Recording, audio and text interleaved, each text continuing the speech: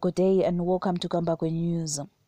uh, president emerson mnangagwa will not be attending uh, this year's united nations general assembly in new york uh, this was announced by the presidential spokesperson george taramba in a statement on friday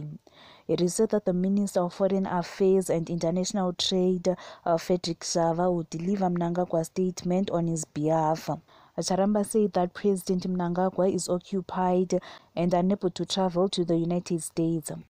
for these and other stories please do like and subscribe to our channel at kambagwe media